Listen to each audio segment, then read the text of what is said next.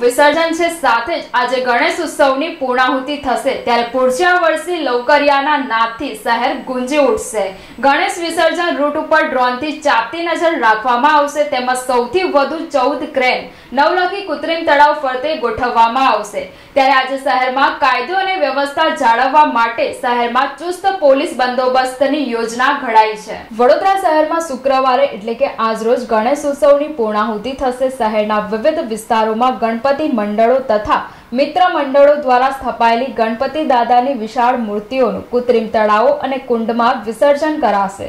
જે માટે શહેરના અલગ અલગ વિસ્તારોમાંથી બેન્ડ વાજા અને ડીજે, મ્યુઝિકના સુરતાલ અને ઢોલ ત્રાસાના નાદ સાથે સરઘસો નીકળશે. જેમાં જોડાયેલા યુવાન યુવતીઓ ગગનભેદી નારાઓ વચ્ચે ગણપતિ દાદાને વિદાય આપતા વેનવણી પણ કરશે કે ગણપતિ બાપ્પા મોર્યા પૂર્જ્યા વર્ષી લવકરિયા આ સાથે શહેરના નવલખી મેદાન સહિતના ચાર કૃત્રિમ તળાવો ખાતે કુલ ઓગણત્રીસ ક્રેન મૂકવામાં આવશે. સૌથી વધુ ચૌદ ક્રેન નવલખી ખાતે મુકાશે. કાયદો અને વ્યવસ્થા જાળવવા માટે ચુસ્ત પોલીસ બંદોબસ્તની યોજના ઘડાઈ છે.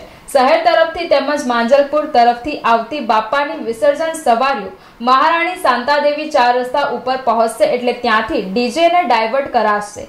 આ પ્રમાણે પશ્ચિમ વિસ્તારમાંથી નવલખી તરફ આવનારી સવારીમાંથી અકોટા ફ્લાયઓવર બ્રિજ શરૂ પહેલા ડીજેને ડાયવર્ટ કરાશે. સંવેદનશીલ વિસ્તારોમાં હાઈ રાઇઝ અને ડીપ પોઈન્ટ મુકાશે. આ ઉપરાંત ડ્રોનથી પણ ચાપતી નજર રખાશે. શહેરના ચાર દરવાજા સહિતના સંવેદનશીલ વિસ્તારોમાં ચાપતી નજર રાખવા માટે હાઈ રાઇઝ અને ડીપ પોઈન્ટ ગોઠવાયા છે. તેમજ પોલીસ કમિશનર ડોક્ટર શમશેર સિંઘે જણાવ્યું હતું. વડોદરા શહેરમાં સૌથી વધારે ગણપતિજીનું વિસર્જન થનાર છે. બારસોથી વધારે ગણપતિનું વિસર્જન થશે અને નવલખી તળાવ ખાતે જ હજારથી બારસો જેટલા ગણપતિનું વિસર્જન થનાર છે. એટલે અહીંયા ત્રણસો ચારસો જેટલા પોલીસ કર્મચારી અધિકારીની નિમણૂક કરવામાં આવી છે. કાયદો અને વ્યવસ્થાની પરિસ્થિતિ જળવાઈ રહે અને લોકો શાંતિથી ગણપતિ વિસર્જન કરી રહે કરી શકે એના માટે તમામ સ્ટાફને પણ સૂચના આપવામાં આવેલી છે અને પોલીસે ખાસ વ્યવસ્થિત બંદોબસ્ત જાળવેલો છે.